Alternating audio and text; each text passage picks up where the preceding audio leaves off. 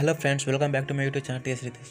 तो आज की वीडियो में यह बताने वाला हूँ कि फेसबुक में अगर आप लोगों का टाइम लाइन के नीचे किसी का भी पोस्ट आए तो उसको हटाए कैसे आप लोगों को कोई भी टैग करता हो फेसबुक में, मैं दिखा देता हूँ पहले।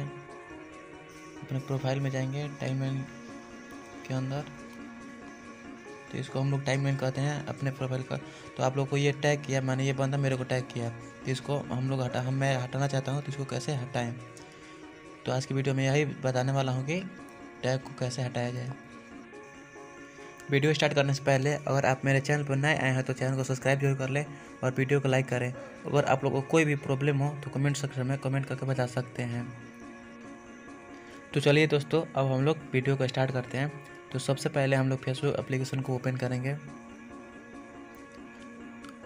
सबसे पहले हम लोग अपने प्रोफ़ाइल के अंदर जाएँगे। प्रोफ़ाइल के अंदर आ गए तो इसको हम लोग टाइम लाइन कहते हैं। जो नीचे सब है, इसको हम लोग टाइम लाइन कहते हैं। ये बंदा मेरे को टैग किया है तो इसको हटाना है टैग से। तो हम लोग यहाँ पर थ्री डॉट का ऑप्शन है, इस पर हम लोग क्लिक करेंगे। तो यहाँ पर रिमूव टैग का ऑप्शन दिखेगा। यहाँ पर रिमूव टैग का ऑप्शन दिखेगा, इस पर हम लोग क्लिक कर देंगे। तो यहाँ पर कंफर्म कंफर्म का ऑप्शन करेगा तो इस पर कंफर्म क्लिक कर देंगे।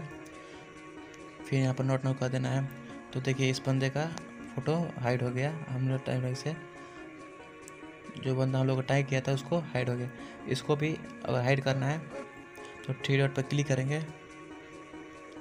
फिर यहाँ पर रिमूव टैग इस पर हम लोग क्लिक कर देंगे। फिर यहाँ पर कंफर्म कर देना है, ये भी बंदा हट गया।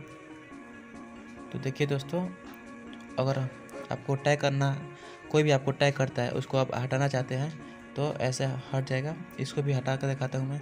यहाँ पर थ्री डॉट है, इस पर हम लोग क्लिक करेंगे। यहाँ पर रिमूव टैग का ऑप्शन है, इस पर हम लोग क्लिक करेंगे। यहाँ पर कंफर्म कर देंगे, ये भी हट गया।